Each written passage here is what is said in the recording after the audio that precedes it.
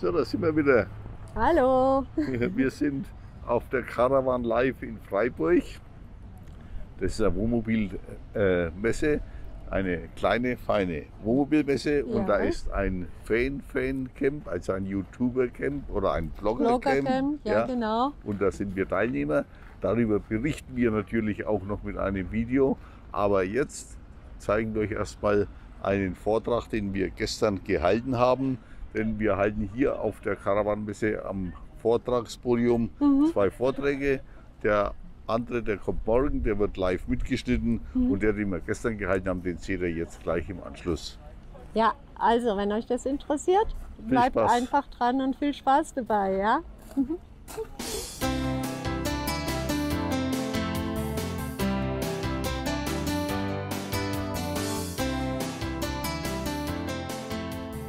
Coole Sache, hätte, ich echt nicht damit gerechnet. Wahnsinn. Es freut mich echt mega, dass ihr alle gekommen seid und äh, so tolle YouTuber, Blogger, Reiser, Camper hier ähm, zuhören möchtet. Echt cool. Ursi und Helle. Ich mir echt eine Ehre, dass ihr hier seid, wirklich. Ist echt cool. Ich habe ja übrigens alle, die hier auf dem Camp stehen, ähm, haben wir eingeladen, weil das alles so ein bisschen so die, die YouTube-Channels sind, die ich selber auch persönlich verfolge und einfach auch ähm, alle sympathisch finden. Alle haben eine eigene Story, alle haben ein eigenes Fahrzeug, irgendwie eine andere Geschichte dahinter und das ist richtig cool. Ja, liebe Ursi, lieber Helle, willkommen auf dem Weltfancamp, willkommen auf der Caravan Live erstmal. Ne? Ja, vielen Dank und willkommen euch allen hier. Erzählt mal, Mensch, wie lange, wie lange campt ihr denn? Seid, seid ihr schon ewig Camper? Wie lange, seit wann campt ihr denn? Also ich bin das erste Mal unterwegs gewesen 2000, äh, nee, 1997 war ich das erste Mal mit einem Wohnmobil unterwegs und mit der Ursi bin ich unterwegs seit 2008. Angefangen mit, sowas wie du fährst da. Sowas wie kleinen, auch, ja, ja. auch mit James Cook. für mich ist das ja schon absoluter Luxus, ne? aber ihr habt natürlich nochmal äh, eine Nummer draufgelegt. Ihr fahrt mit einem schönen Hümer. Wir haben ja auch das Alter dazu. Ja, gut. Äh, ihr habt es verdient, sage ich jetzt einfach mal. Hört sich besser an. ihr habt es verdient. Definitiv, definitiv. Wir wollten es einfach ein bisschen gemütlicher haben. Ja. Ihr, ja, ihr habt es natürlich mega gemütlich, absolut. Wie findet ihr denn die Messe, das, das Camp? Super, also wir finden, wir haben schon uns gestern ein bisschen umgeschaut. Es sind, ist eine sehr schöne Auswahl an Fahrzeugen da. Auch die Morellos haben wir uns angeschaut. Oh, Morello. Da schaut die Ursi mal gleich weg. Die Ursi, die äh, schüttelt den Kopf. Nein, nein, wir bleiben gerne bei unserem Rüstel. Vorerst, ja. Na, da bahnt sich doch irgendwas an, habe ich so das Gefühl. Ne? Also, lieber, lieber, wenn äh, ein Verkäufer ist von Morello, kommt mal bitte einer vor. Nein, nein, das dauert schon noch ein bisschen. Hier riecht es nach dem Geschäft, würde ich sagen. Aber äh, Themawechsel, ne? Themawechsel. Themawechsel. Ihr seid, ja heu- ihr seid heute hier, um mal ein bisschen zu präsentieren über euer Campingverhalten, über Wohnmobil. Ihr habt auch schon sechs Monate im Wohnmobil gelebt. Ne? Drei. drei Monate.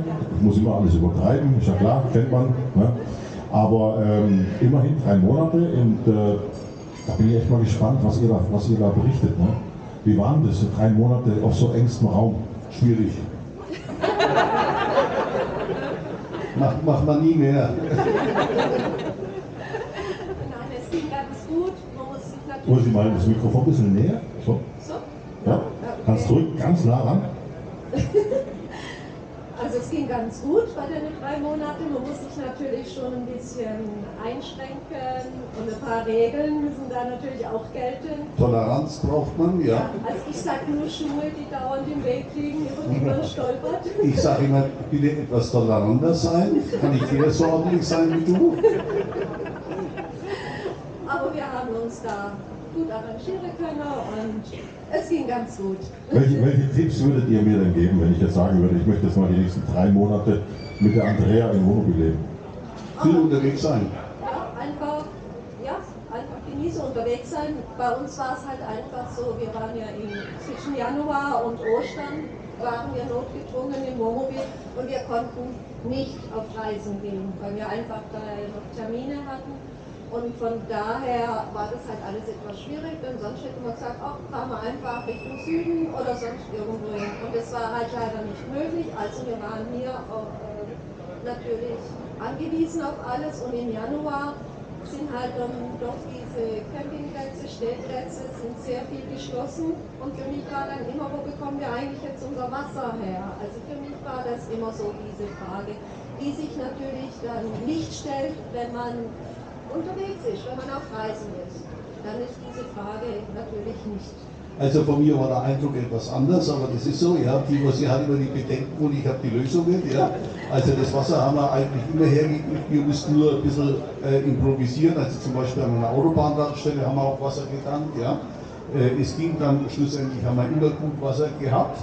Äh, ins Ausland konnten wir nicht fahren, weil wir ja in eine Wohnung einziehen wollten, die noch nicht fertig gewesen ist und so gab es noch Korrespondenz und wir mussten auch öfters mal vor Ort sein.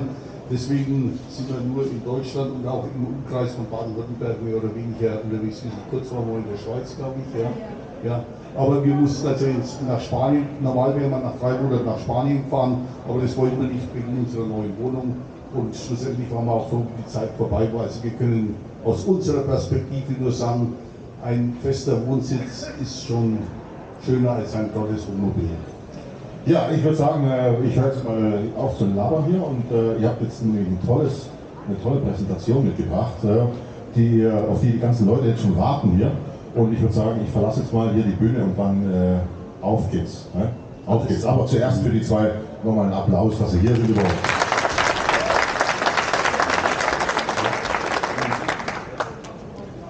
Also vielen Dank nochmal, dass ihr alle gekommen seid. Wir haben drei Themenschwerpunkte uns vorbereitet. Das haben wir ja auch schon vorher auf Facebook angekündigt und ich glaube auch auf Instagram. Das erste Punkt ist Dieselverbot, Zukunft des Momo-Reisens. Da waren wir extra bei Hersteller, haben uns kundig gemacht.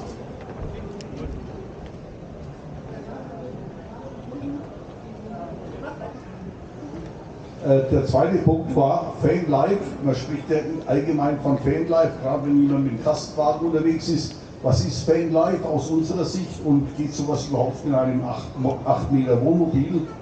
Und dann als drittes und als Hauptpunkt haben wir uns äh, ein bisschen vorbereitet auf sinnvolles Zubehör beim Wohnmobilkauf. Und beginnen wollen wir mit dem ersten und dem kürzesten Punkt, die Zukunft des Womo-Reisens. Dieselverbot ist angesagt oder ist in der Schwebe. Wir waren bei Herstellern, haben uns erkundigt, wie sie damit umgehen, mit ihren teuren Wohnmobilen, die sie verkaufen. Und es wird ja schon politisch diskutiert, ob man nicht irgendwann komplett Dieselverbot oder den Verbrennungsmotor verbietet. Die Hersteller machen sich darüber so gut wie keine Gedanken, komischerweise. Wir sind immer auf die Fahrzeughersteller verwiesen worden, also auf Fiat, Iveco oder Daimler-Benz. Von denen haben wir gar nicht weiter recherchiert aber die Wohnmobilhersteller machen sich da offensichtlich keine Sorge. Also wenn ihr hier wissen wollt, wie die Zukunft aussieht, falls es überhaupt schon konkrete Pläne gibt, denn die Elektromobilität ist sicherlich für Wohnmobile nicht geeignet. Falls ihr da Interesse habt, dann müsst ihr euch an die Fahrzeughersteller von dem äh, Antrieb wenden und nicht an die Aufbaufirmen. Damit ist auch dieser Punkt schon erledigt. Ja. So das Technische. Jetzt kommt das, was die, der Ossi gefällt, das Fanlife auf 8 Metern. Fanlife sieht so aus, ja, schöne Stellplätze. Jetzt muss man mal sagen, was versteht man unter Fanlife? Also wir verstehen unter Fanlife, wir verstehen unter Fanlife, dass man einfach irgendwo hinfahren kann, wo es einem gefällt, wo man stehen kann, wo man bleiben kann, wo man sich die Gegend anschauen kann. Das verstehen wir eigentlich unter Fanlife. Also nicht nur von Campingplatz zu Campingplatz, sondern einfach quer hin, querbeet. Und das ist für uns dieses Fanlife. Schnell ankommen, wenn es möglich ist, Liegestühle raus, sich ein bisschen außen hinsetzen, manche auch noch grillen, was wir ja weniger tun. Aber Fanlife ist einfach einsam in der Natur stehen, ankommen und schnell wieder abreisen können, wenn man das so möchte. Kein vorgegebener Stellplatz, wo man erst das lange Anmeldeprozedere etc. durchlaufen muss. Fanlife findet man hier zum Beispiel auf 3000 Metern Höhe in der Schweiz. Das ist jetzt hier am Vorkapass. Ja. ja, das findet man aber auch an der Friedhofsmauer. Das sehen wir hier. Ja, da kann man auch wunderbar stehen. Das sind ganz tolle Plätze oftmals. Man kann aber auch mal die Markise rauslassen. Das ist hier bei Schaffhausen ein Bild und da sieht man, da sind wir sogar aufgebockt. Also das schließt sich nicht unbedingt aus, wenn, bei, wenn gleich wir beide sehr schwarzfrei sind. Also wir bauen so gut wie nie auf, auch wenn dann das, die Tasse ja mal ein bisschen halb voll ist. Ja. Da haben wir jetzt auch die Markise ausgefahren. Und dann ist für uns wichtig, dass wir gut zu unseren Fahrrädern können.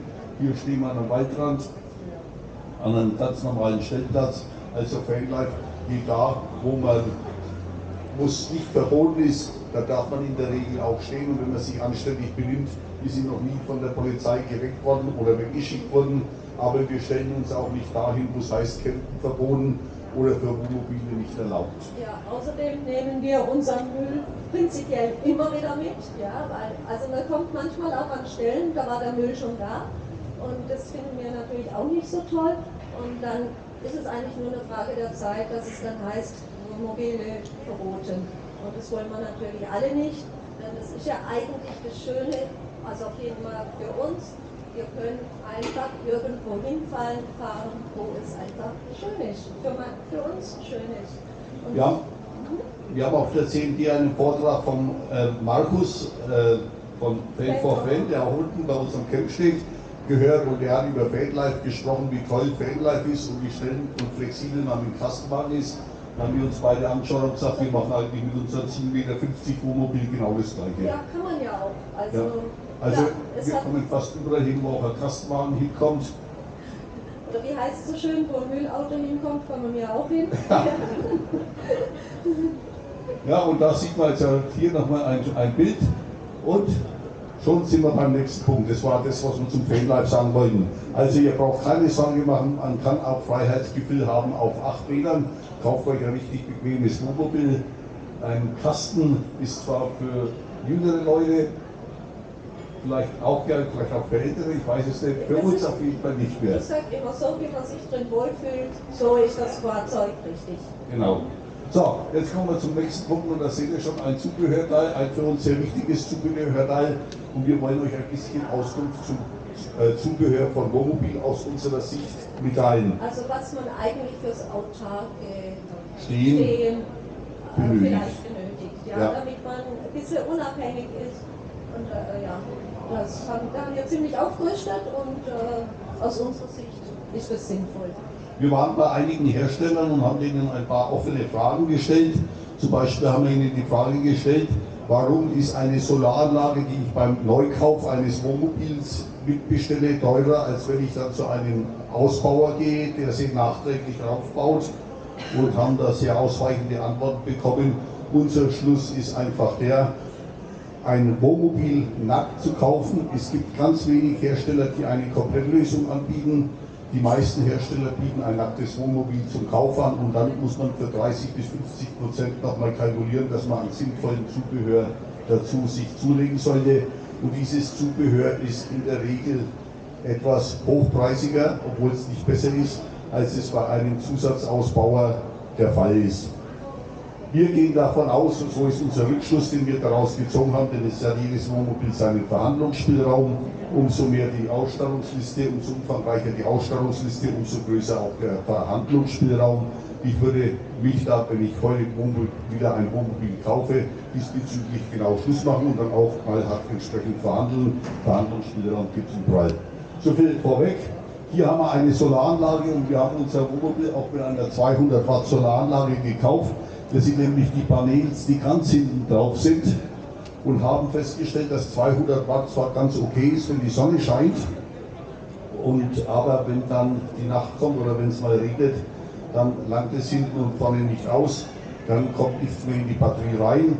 Jetzt ist bei uns noch die spezielle Situation, dass wir einen Computer haben, zwei Handys haben, äh, Tablets haben und äh, dass wir auch öfters mal an Regentagen gestanden sind und gerade an Regentagen nutzen wir dann diese Tablets und äh, Notebook noch intensiver und haben festgestellt, das langt uns nicht. Wir haben uns dann nochmals 300 Watt oben drauf packen lassen, sodass wir jetzt mit 500 Watt Solaranlage ausgestattet sind. Wir können sagen, das ist eine sehr gute Ausstattung. Ja, gerade wenn man natürlich viel autark stehen möchte. Wenn man auf einem Campingplatz steht oder auch auf einem Stellplatz, kann man ja in der Regel dann den Strom von da beziehen. Aber wenn man einfach autark sein möchte, dann bietet sich das natürlich an, mehr Strom selbst zu regenerieren. Also unser Tipp, wenn ihr ein Wohnmobil kauft und Solaranlage draufpackt, dann macht es gleich richtig. Ist nicht wesentlich teurer, ob ihr 500 Watt oder 200 Watt habt, das ist nicht der doppelte Preis, das ist vielleicht ein bisschen teurer, aber ihr seid dankbar an Tagen, an denen es regnet, an denen es bewölkt ist oder auch mal, wenn ihr unter einem Baum steht. So, und da haben wir schon das Nächste, was man natürlich benötigt, wie wir unseren Kusten, unser Wohnmobil gekauft haben. Da gab es noch diese Gel-Batterien, von Lithium-Batterien hat damals noch keiner gesprochen. Und als sie dann gekommen sind und wir erfahren haben, was eine Lithium-Batterie äh, für Vorteile bringt, haben wir uns auch die einbauen lassen. Obwohl unsere Gel-Batterien, wir hatten drei Stück davon, noch gut in Schuss waren, haben wir trotzdem gleich die Gel-Batterien entsorgt und haben diese 180 Ampere-Stunden Batterie eingebaut und sind damit sehr zufrieden. Die lässt sich auch tief entladen, also die hat damit kein Problem. Die speichert auch den Strom viel besser. Und dann der Solaranlage ist die so gut wie immer voll, außer, wie gesagt, ein paar Regentage hintereinander, dann kriegen wir auch Schwierigkeiten damit. Deswegen ist auch unser Tipp, wenn man den Platz zur Verfügung hat und wenn man auch das Geld dafür aufwenden möchte, dann würden wir heute auch eine doppelte Kapazität nehmen, statt 180 Ampere-Stunden 360 Ampere-Stunden. Aber mit 180 Ampere-Stunden und 500 Watt Solaranlage kommen wir elektronisch sehr, sehr gut zurecht. Ja. So, dann haben wir das nächste, was natürlich auch dazu gehört, das ist ein Ladebooster. Das ist dieses kleine Gerät, das ist gleichzeitig Laderegler für die Solaranlage, baut alles der Fachmann ein, braucht man sich nicht auskennen, ich kenne mich selber nicht aus, ja. Vielleicht die meisten von euch besser als ich aber ich kann es zumindest benutzen. Ladebooster hat den Vorteil, dass er die Batterie möglichst schnell auflädt, denn so habe ich mir das erklären lassen, die modernen Lichtmaschinen von den Geräten, die laden die Batterien gar nicht mehr richtig auf. Deswegen so ein Ladebooster, da geht es dann, wenn man ein Kilometer fährt, dann die Batterien relativ zügig geladen. Dann haben wir uns einbauen lassen eine Gastankanlage. Das sieht man da unten. Das ist natürlich ein zweischneidiges Schwert denn es heißt in den Gasflaschen, das Gas ist wesentlich sauberer als das, was in eine Tankanlage reingeht. War mir auch nicht bewusst, als wir uns den Gastank haben einbauen lassen. Ich habe das dann erst im Nachhinein erfahren, dass ein LPG-Gas, wie man es an den Tankstellen bekommt, etwas verunreinigt ist, weil da Schmiermittel einfach vorhanden sind. Und von der Firma Truber habe ich mich aufklären lassen, dass mittlerweile auch die Gasflaschen diese Verunreinigung mit sich bringen, weil viele Leute nicht erlaubtermaßen, dazu sagen, diese Gasflaschen selbst nochmals befüllen. Und dadurch also mit LPG-Gas, da sind Schmiermittel drinnen, die auch für den Motor zugänglich sind, aber das sind einfach Verschmutzungen und die können unter Umständen bei der alten Heizung oder auch bei der Trümmerheizung oder beim Kühlschrank zu Verstopfungen führen. Es gibt deswegen zwei Filtersysteme. Mal schauen, ob ich da eine Filter fotografiert habe. Nein, habe ich nicht, nur die Anzeige. Es gibt zwei Filtersysteme, äh, die wir beim Gedanken einsetzen, der wohl etwas äh, die Schmierstoffzuführung stoppt. Und dann gibt es noch ein zweites Filtersystem, was man bei jeder Gasprüfung wechseln lassen sollte. Also das zu dem Thema Gastank sehr hilfreiche Sache. Man kann damit viel länger autark stehen als mit Gasflaschen, aber es ist nicht uneingeschränkt empfehlenswert. Man muss wissen, was man sich damit ans Auto ranbaut. Hier ist auch die Füllstoffanzeige, also so eine Füllstoffanzeige haben auch die Gastanks. Mittlerweile gibt es ja für die Gasflaschen auch schon. Da haben wir hier den Kühlschrank. Es gibt zwei verschiedene Kühlschrankmodelle die empfohlen wird. Da gibt es einmal den Absorberkühlschrank und dann gibt es den Kompressorkühlschrank. Äh, es gibt viele Hersteller, viele namhafte Hersteller empfehlen schon immer den Kompressorkühlschrank. Allerdings hat die Firma Domedic, die hauptsächlich bei den äh, Wohnmobilausstattern ist, die Firma Domedic hat bis jetzt noch keinen Kompressorkühlschrank angeboten und ab diesem Jahr ist es wohl ganz neu. Deswegen kann man auch bei vielen Herstellern wählen zwischen einem Kompressorkühlschrank und einem Absorberkühlschrank. Meine Empfehlung ist, macht euch kundig über den Kompressorkühlschrank. Der geht nicht mehr mit Gas, sondern der funktioniert mit Elektrik. Ich habe keine Erfahrung damit, aber ich habe mir sagen lassen, die, äh, der Verbrauch der Elektrik ist sehr minimal. Und der, der Kompressorkühlschrank hat den großen Vorteil, dass er auch bei hohen Temperaturen, also bei plus 30, 40 Grad, richtig gut durchkühlt, im Gegensatz zum Absorberkühlschrank, der im Winter und auch im Sommer wohl seine Schwächen hat. So schaut der Kühlschrank jetzt aus. Und der äh, der Kompressorkühlschrank, der schaut nicht viel anders aus. Nur da hat man dann keinen Backofen drüber, sondern da kriegt man dann eine Mikrowelle drüber, weil da gar keine Gaszuführung vorgesehen ist. Aber man kann sich auch einen Gasbackofen einbauen lassen. Ja, muss halt eine Gasleitung hingelegt werden. Halt eine Gasleitung hingeführt werden. So, dann haben wir ein Lieblingsthema, wo wir viel geschumpft wurden. Ja, der Dachventilator. Wir haben sogar ein Video drüber gemacht und das war das erste Mal, dass wir da richtig von unseren Zuschauern geschumpft wurden, ja, weil wir das falsch beurteilt haben. Für mich, ich hatte eine Vorstellung, mir einen Dachlüfter einbauen zu lassen und habe gedacht, wenn es dann heiß draußen ist, dann bläst die, die, der Dachlüfter die Luft rein, sodass ein Luftstrom entsteht und ich fühle mich wohler. Dann habe ich das das erste Mal ausprobiert, dann habe ich nur einen Lärm gehört, weil der nämlich furchtbar laut ist und ich habe überhaupt keine Luftzug gespürt, wie man sie dagegen schon mit mir gegenüber gesessen ist. Ja, mein Platz ist halt einfach so, dass wenn ich da unter dem Ventilator dann sitze, und dann muss ja immer noch ein Fenster oder irgendwas offen sein und dann zieht es natürlich volle Pulle durch und mir immer ins Knick und das fand ich natürlich sehr unangenehm. Kurzum, wir waren sehr unzufrieden damit, dann auch mit der Position, die am Anfang ähm, äh, vorgesehen war vom, vom äh, Ausbauer. Und wir haben dann ein Video drüber gedreht und haben gesagt, eigentlich ist das eine sinnlose Sache und viele haben uns auch angeschrieben, haben uns die Vorteile dieses Dachventilators erläutert und heute korrigiere ich mich, Sie nicht. Ja? Aber ihr habt ja schon mitgezogen, da sind wir nicht einer Meinung. ja? Äh, also meiner Meinung nach, ja, danach widerspricht er lieber Sie, ja. Meiner Meinung nach ist es eine sehr sinnvolle Sache, und zwar wenn man an einem Ort gestanden ist, wo die Sonne runtergebrannt hat und es hat im Wohnmobil und außen 30 Grad gehabt, dann am Abend, wenn es abkühlt, draußen auf 20 oder auf 15 Grad sogar, dann ist außen die Luft sehr angenehm und wenn kein Wind ist, dann kann man alle Fenster im Wohnmobil aufmachen, die 30 Grad gehen einfach nicht runter.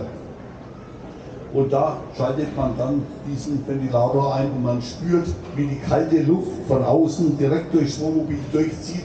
Viertelstunde den Dachlüfter laufen lassen und es ist eine angenehme Temperatur. Also insoweit muss ich mich auf jeden Fall korrigieren und würde auf jeden Fall, wenn wir wieder ein Wohnmobil kaufen sollten, dann, dann würde ich wieder dafür plädieren, dass so ein Dachlüfter eingebaut wird. So, jetzt kann ich Ossi schimpfen.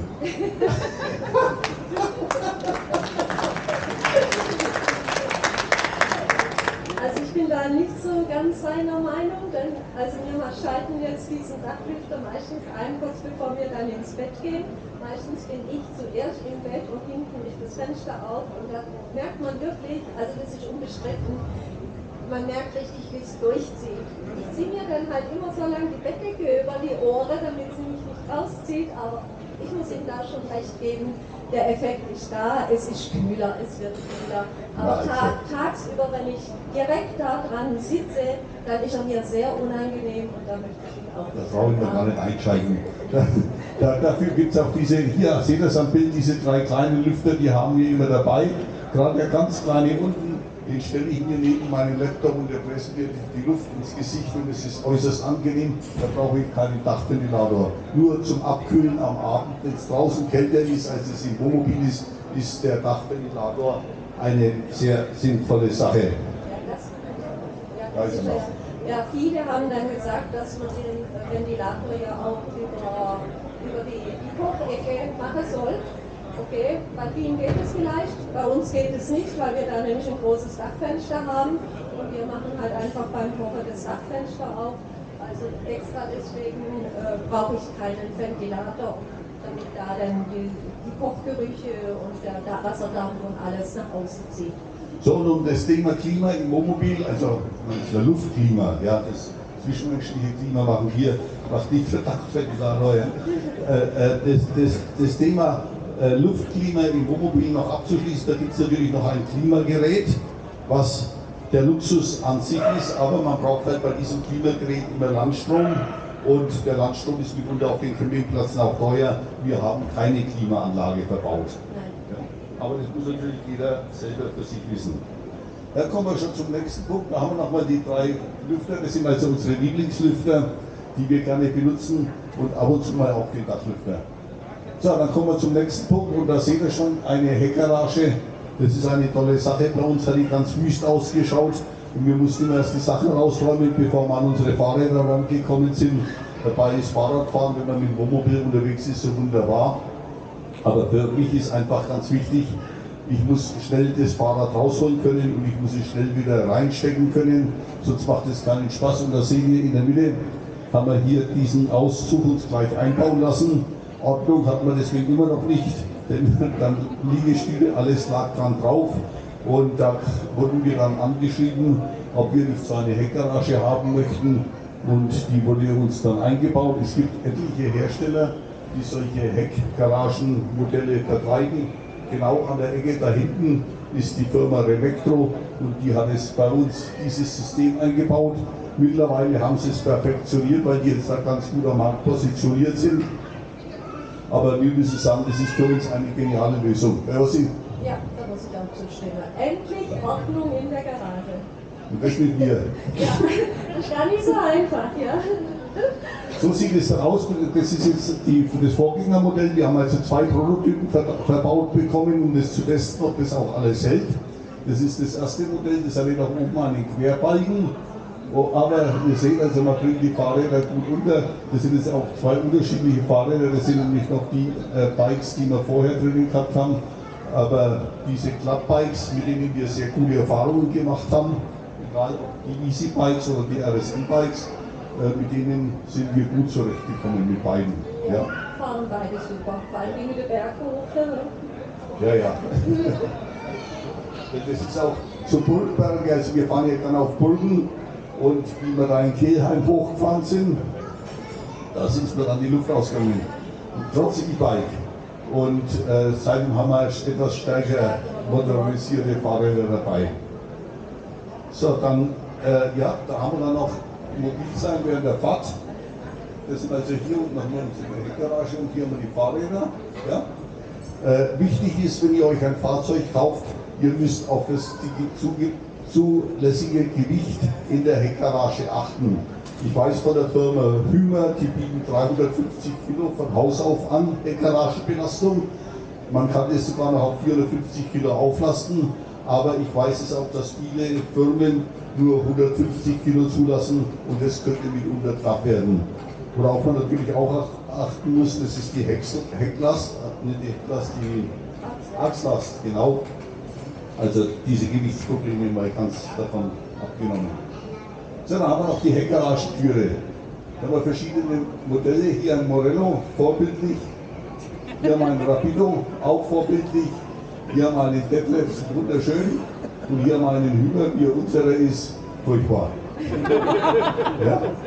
Die Firma Hümer hat es noch nicht gelernt in den vielen Jahren und so oft, wie wir schon gemeckert haben. Wir haben bei denen uns schon beschwert, immer nur 90 Grad Öffnung. Das sieht man nicht, wenn man, wenn man nicht mit dem Wohnmobil unterwegs ist. Man sieht sich und man kann es auch nicht umbauen. Das ist nicht möglich, dass man das ein bisschen versetzt oben, weil es unten an der Stoßstange hingeht. Aber es ist jedes Mal ein Drama, wenn ich das Fahrrad in die Heckgarage muss, muss mich immer reinzwängen, um das Fahrrad hochlupfen zu können. Es macht überhaupt keinen Sinn, eine, eine Wohnmobiltüre mit nur 90 Grad aufgehen zu lassen. Ich möchte nur darauf hinweisen, wenn jemand sich für ein Fahrzeug interessiert, macht euch gleich kundig, ob man das nicht auch auf 180 Grad die Tür so wie hier verlängern kann. Äh, Carado etc., die können das alle. Ja? Nur Firma Hümer, hier haben wir nochmal einen Hümer, die können das eben nicht. Und so könnt ihr euch freuen, wenn ihr mal zeitlang mit Wohnmobil unterwegs seid. Ich habe aber noch was. Ähm, ja, ja, ja, doch, wir haben schon ein paar Minuten, wenn es nicht so langweilig ist. Und es gibt zwei Dinge, wenn man frei steht, die richtig blöd sind. Das eine ist uns passiert in Konstanz, da waren wir mitten im Wald gestanden und sind, haben uns ins Bett gelegt ohne große Sorgen und nachts um 1 Uhr geht die Alarmanlage los Wir standen senkrecht im Feld, das kann sich jeder von euch vorstellen. Wir haben dann alles abgesucht, außen ums Fahrzeug rum, haben nichts festgestellt, haben Alarmanlage wieder eingestellt, sind wieder eingeschlafen und nach dem drei ging sie wieder los. Wir wissen bis heute noch nicht, warum die losgegangen ist. Wir wissen aber von der Firma Titronic, die unser Alarmanlagenbauer ist, wissen wir, dass es da Fehlmeldungen gibt, wenn jemand Funk, mit Funk arbeitet in der Nähe, also es kann auch 100 Meter weg sein, dann löst er unter Umständen Signale aus, die einen Angriff auf die Alarmanlage interpretiert werden und dann löst die Alarmanlage aus. Das ist dumm, ja, ist uns nicht oft passiert, aber es ist passiert und es war immer unangenehm. Was der zweite Punkt ist und was wesentlich häufiger vorkommt, ist, wenn man irgendwo steht, vor allen Dingen auch natürlich einsam, dann kommen nachts Autos hergefahren. Aus ganz normalen Gründen ist dieser Hundespaziergänger oder was uns passiert ist am Neckar, da waren wir gestanden, dann sind auf einmal drei, vier Autos gekommen und das waren dann Angler, haben wir gesehen. Das ist ja alles nicht schlimm, aber man will wissen, was da los ist, was kommt da auf einen zu, wenn man da alleine steht. Und da ist dieses Fenster sehr praktisch. Das heißt, ich lege mich dann zur Seite, ich schaue, während ich weiter liege, raus und sehe, hoppla, das sind ja nur Angler, da ist kein Problem, dann schlafe ich sofort weiter. Mittlerweile haben die Wohnungs Wohnmobilbauer die Angewohnheit, die Fenster immer weiter nach vorne zu rücken. Das hat schon einmal damit zu tun, dass viele Wohnmobile Queensbett haben und da ist ganz am Heck noch ein Schluss, äh, ein Schrank. Äh, es muss jeder für sich wissen. Wir sagen nicht, was optimal ist, was für uns gut ist, ist für viele nicht gut. Aber man muss vorher darauf aufmerksam gemacht worden sein. Und das wollten wir euch sagen, achtet drauf, wenn ihr euch ein Wohnmobil kauft, wo ist das Heckfenster, bin ich damit zufrieden. Wir haben auch mit Herstellern darüber gesprochen, dass es nicht optimal platziert ist, dieses Fenster. Und es, wir haben die Auskunft von einigen Herstellern bekommen, auf Kundenwunsch werden diese Fenster auch ganz nach hinten versetzt. Also das lässt sich dann schon regeln, wenn man das anspricht. Dann haben wir noch die elektrischen Fensterheber im Fahrerhaus. Jeder kennt sie. Fiat Ducato, vorne elektrischer Fensterheber, man drückt drauf und was passiert? Nichts, weil der nämlich am Fahrerhausstrom hängt. Ich habe das bei der Firma Hümer sofort reklamiert und habe gesagt, das geht ja wohl nicht. Ich wohne in dem Wohnmobil, ich sitze auf dem Beifahrersitz, der ja für mich ein ganz normaler Sessel ist. Ich sitze auf dem Fahrersitz. Am Fahrersitz, ja. ja. Gut. Jetzt müssen wir testen, ob sie noch dabei ist. Ja.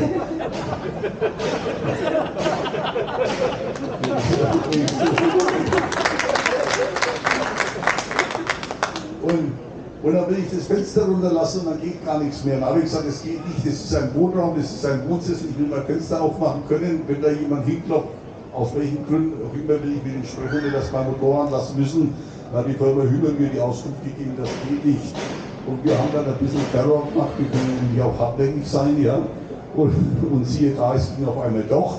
Also, wenn ihr euch ein Fahrzeug kauft mit elektrischer Fensterheber, fragt euren äh, Händler, wenn der Händler firm ist, und auch nur dann sollte der Wohnmobil verkaufen, dann baut er euch das auch um. Und so sieht es bei uns aus. Wir haben sogar noch ein zweite, äh, zweites Teil eingebaut bekommen. Das hat dann die Firma Hünger für uns gemacht. So, und dann haben wir noch die, die Hubstützen, die automatischen. Ist natürlich eine schöne Sache. Man steht immer in der Waage und man braucht nicht auf Kreide auffahren. Ihr seht also auch, wir fahren ab und zu mal auf Kreide auf, weil hier wäre alles nach vorne gegangen in Richtung Main. Und mit einer automatischen Hubstützanlage, die hat natürlich den großen Vorteil, erstens, dass das Wohnmobil stabil in der Waage steht und zum Zweiten, wenn man sich im Wohnmobil bewegt, dann bleibt es auch stehen. Wenn, wenn ich da irgendwann mal durchlaufe, dann meint die Ursi, sie ist auf dem Schiff. Ja. ja, Helle steht meistens nachts irgendwann mal auf und wenn er dann auf Toilette geht oder so, dann wackelt das ganze Fahrzeug. Also. Ja, wir haben eine Hubstützenanlage, allerdings eine manuelle, und die haben wir nur einmal ausgefahren, als wir das Fahrzeug übernommen haben. Ja. Jetzt sind wir immer zu bequem dazu. Aber eine, eine automatische Hubstützanlage also macht durchaus Sinn, wenn man sich das leisten möchte. Die tun natürlich eine Luftfederung, die wir auch nicht haben, aber die wir uns, wenn wir uns nochmal ein Wohnmobil kaufen, sicherlich einbauen lassen. Ihr seid alle schon mal im Omnibus gefahren und fahrt noch im Omnibus über die Autobahn, dann gleitet der sanft dahin und im Wohnmobil macht wum, wum, wum. Ja, also es ist ein Unterschied wie Tag und Nacht, wer sowas mal gefahren hat, der weiß auch, dass das für die Karosserie natürlich wesentlich schonender ist, mit einer Luftfilterung zu fahren, als ohne. Und dann haben wir natürlich noch Tempomat Sitzheizung Navigationsgerät. Tempomat halte ich für ganz wichtig, gerade mit der Wohnmobil über dreieinhalb Tonnen, weil man einfach mit 100 auf der Autobahn dahin gleitet. Ein No-Go-Wohnmobil ohne Tempomat, der von vier ist nicht der beste, aber ich komme damit zurecht. Ja, ja, aber er schimpft sehr oft, weil der Tempomat wieder raus Ja, ich muss ja langsam Werbung machen fürs neue Wohnmobil. Sitzheizung können wir wieder, jederzeit wieder kaufen, ins kalte, kalte Wohnmobil einsteigen und Ja, ja. Sitzheizung anmachen, ist wunderbar. Und ein Navigationsgerät, also da müssen wir jetzt auch sagen, wir haben mittlerweile zwei fest ver- verbaute gehabt. Das eine war ein Senec, was eigentlich, wo wir nicht sehr sonderlich zufrieden waren. Ja. Und das zweite haben wir das Kenwood, das ist also deutlich besser. Das ist das unten rechts. Die meisten fest verbauten Navigationsgeräte, habe ich mir sagen lassen, die verwenden die gleiche Software, also ob Pioneer, Zenit oder wie sie sonst heißen, verwenden alle die gleiche Software von einem ungarischen Hersteller. Also wenn jemand sagt, mein Alpine ist wesentlich besser von der Navigation als, mein Zen, als dein Zenit, dann stimmt es schlichtweg nicht, so die Auskunft, die ich bekommen habe. Anders sieht es aus beim Kenwood. Das ist das einzig fest installierte Navigationsgerät, was eine andere Software verwendet, nämlich die von Garmin. Und dann gibt es noch den TomTom. Und das muss ich Ihnen euch ganz ehrlich sagen, ich würde mir ein Wohnmobil mit einem fest verbauten Navi nicht unbedingt mehr kaufen. Ich würde mir ein TomTom Camper Navi zulegen. Das ist zwar auch nicht hundertprozentig zuverlässig, aber man hat hier erst einmal die Realtime Anzeige, ja, weil da ist eine Chipkarte oder eine SIM-Karte hinten verbaut, sodass man die Staus punktgenau angezeigt bekommt und vor allen Dingen man lernt auch die Landschaft besser kennen. Also der Helle fährt ja meistens dann, äh, die beiden Navis zeigen öfters dann mal unterschiedliche Wege an und äh, Helle entscheidet sich dann meistens fürs TomTom. Und das TomTom, das weiß anscheinend, dass der Helle gerne bisschen so Seitenstraßen fährt, enge Straßen mit vielen Tunnels und so.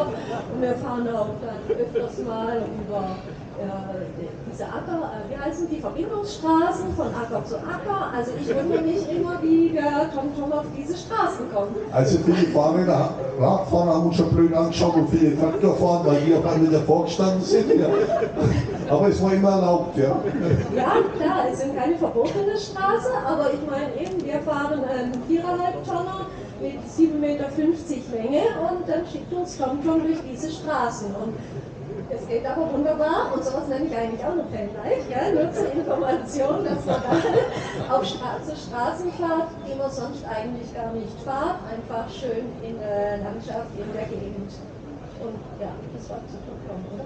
Tom Tom ist super. So, jetzt haben wir noch einen Punkt. Reifen, Sommerreifen, Winterreifen. Unsere Empfehlung für uns sind weder Sommer- noch Winterreifen, die wir aber jetzt im Moment drauf haben. Es ist erst einmal nervig, die ganze Wechselerei, für mich zumindest. Und ich sehe keinen richtigen Vorteil. Wir haben da auch schon mal ein Video drüber gemacht und haben viele geschrieben, so, immer Sommer- und Winterreifen, schon allein aus Sicherheitsgründen. Ich muss ganz ehrlich sagen, Sicherheitsgründe sind für mich Allwetterreifen. Es sei denn, man fährt ins Hochgebirge oder man fährt im Winter nach Norwegen. Das ist natürlich was anderes, aber sonst sind es Allwetterreifen. Wir waren mit dem James Cook noch unterwegs 2008. Das war nach Ostern. Wunderbares Wetter. Was Ja, da hatte man Sommerreife drauf, weil eben war nach Ostern, bei uns wechselt man ja eigentlich nach Ostern die Reifen, Sommerreife drauf und mir kam auf die Idee, wir fahren dann in den Süden, Hinfahrt, kein Problem, alle Straßen frei, aber dann die Rückfahrt. Ja, und da hat man geschlossene Städte gegenüber den Alpenpässe, obwohl wir dann auch die, die milderen Alpenpässe gefahren sind in, Süd, in Frankreich. Und ich, also mir ist das schon heiß und bange geworden, weil ich, weil ich wusste, wenn ich stehen bleibe, kann ich nicht mehr anfahren. Es ging dann alles gut, aber da habe ich gesehen, dass in Europa, auch wenn man nach Spanien fährt, Ganzjahresreifen eigentlich die optimale Lösung ist. Und ich verstehe viele Wohnmobilhersteller nicht, die eigentlich immer nur die Auswahl lassen, zwischen Sommerreifen und gegen Aufpreis Winterreifen zu montieren, statt dass sie gleich äh, Wohnmobile mit Ganzjahresreifen anbieten. Aber so ist es eben. Wir hoffen, wir konnten euch ein paar Tipps geben aus unserer Erfahrung. Gilt natürlich nicht für jeden.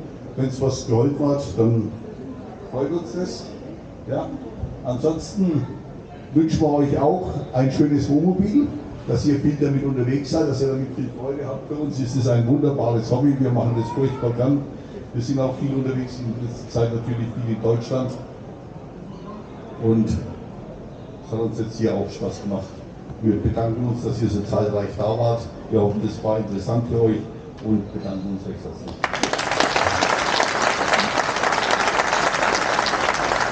Ja, vielen Dank. Ihr zwei genauso sympathisch wie auf den Videos. Wer den noch nicht abonniert hat, die zwei, Urs und Helle, einfach mal vorbeischauen, lasst ein bisschen Liebe da. Oder mindestens ein Abo. Und einen Daumen nach oben, oder? Daumen nach oben, ja. Daumen nach oben, Daumen nach unten. Oder einen netten Kommentar. Netten Kommentar. Daumen nach unten übrigens wirkt auch was. Ne? Also so ist es nicht, wenn ihr Bock habt, auch einen Daumen nach unten. Scheißegal. Äh, uns stört es nicht. Nein. Immer. Vielen Dank. Daumen nach oben natürlich viel lieber. Ja, ihr zwei, lasst ein bisschen Liebe da. Ohne Scheiß, zwei haben es verdient und ich bin echt stolz, dass ihr, seid, dass ihr hier seid. Ähm, echt, ihr habt nochmal einen Auftritt, morgen, glaube ich. Nein, am Samstag. Samstag. Am Samstag. In diesem Sinne, wenn ihr nochmal Lust habt auf die zwei, geht runter ins Weltfancamp. Vielleicht gibt es Kaffee bei denen, wer weiß. Der Adi steht nicht dran, der bringt schon rüber. Ja. Tasse. Ja, ciao ihr zwei, bis später.